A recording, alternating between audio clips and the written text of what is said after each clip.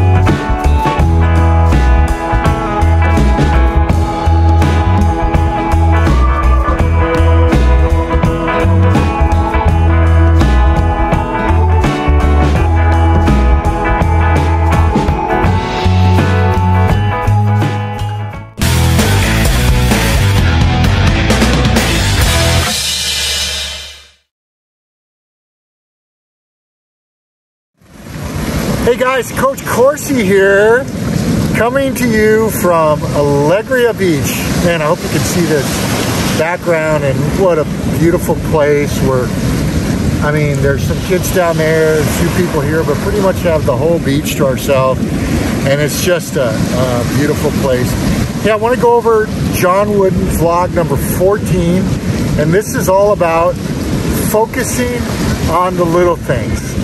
So John Wooden, in perfecting his style until he won a national championship in 1964, he really put a major focus on the little things. So just to give some examples, is he used to get laughed at a lot because at the first practice, the first thing he would do with all his players is he would teach them how to put on their socks correctly so they wouldn't get blisters and in turn. If you get a blister you can throw the ball away or you might be taken out of the game or you not, might not even be able to play a game. So he spent a lot of time the first practice and it was kind of a joke with his players and people but he wanted to express how important to him were the little things like putting on your socks.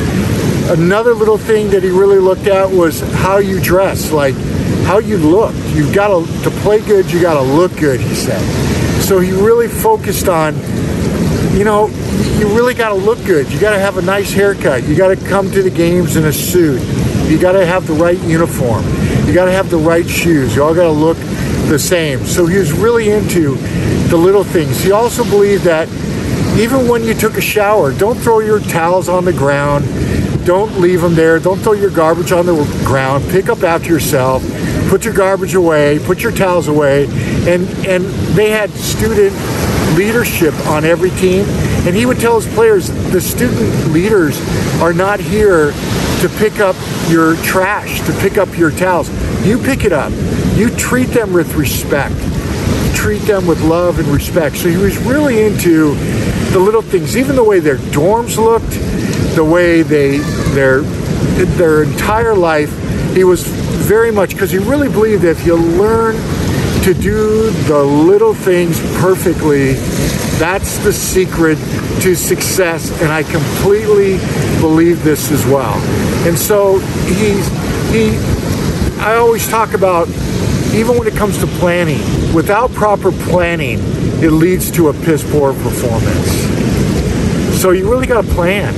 You really got to focus on the little things. Even when it came down to, to X and O's on offense and defense, he spent a lot of time on blocking out, on setting picks, on squaring up to the basket, on moving, on on fast breaks where you should be.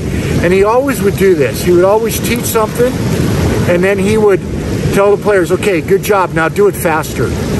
Oh, good job, I do it faster. Many of his players would say they were they were more tired at practice than they were in the games because they worked so hard in those two hours every day of practice.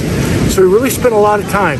Okay, you did great. Now do it faster, faster, faster, faster, faster. And he spent a lot of time on this in practice with X and O's and and with just because he, he believed more than anything else in his life. He believed, like I said before, that if you perfect doing the little things, that's the secret sauce. That's the, like In and Out Burger, the secret sauce. That's the secret sauce to success in basketball, in life, and anything you do. So start thinking about in your life. Are you doing the little things when it comes to basketball? Are you doing the little things when it comes to business? Are you preparing? Do you have a things to do list? Are you really focused on making sure the little things are big things? Even how do you put your socks on? How do you lace up your shoes? I used to always tell my players when they laced up their shoes before we start practice, double knot your shoes because I hated in practice they didn't double knot it, the shoes came unlaced. Then we had to stop for 30 seconds to a minute to have the player relace his shoes, tie them up, and it just took a minute or two away from practice. So focus on the littlest thing. Make sure your kids are double knotting their shoes before you start the practice. Make sure the shoes are laced correctly. So anyways, I wanted to talk to you about that on this beautiful beach in Alegria.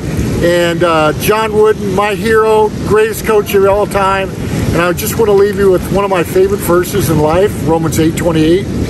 For all things work together for good to those that are called according to his purpose. For all things work together for good for those that are called according to his purpose. So remember, when things aren't going well in your life, God's got a reason for it. He's got a reason, and it will work out for good no matter what. So focus on that verse. That theme verse for life and focus on Romans 8 28. We love you guys. Thank you for your support. Thank you for your prayers. Thank you for subscribing, liking, and commenting. It all goes to, to expand this channel so we can touch more kids' lives as we as we begin this journey of, of sports ministry in the Philippines. So God bless you guys. Have a great evening. Looking forward to seeing you. We're coming back June 16th. Can't wait to see all you guys. And Go Bearcats!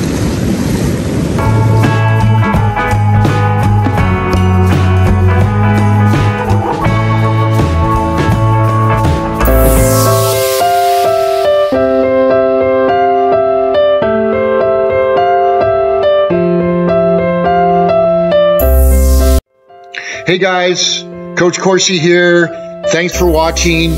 Please subscribe and like, and thanks for being a part of this vision for the future to impact our youth and the next generation. God bless you and go Bearcats.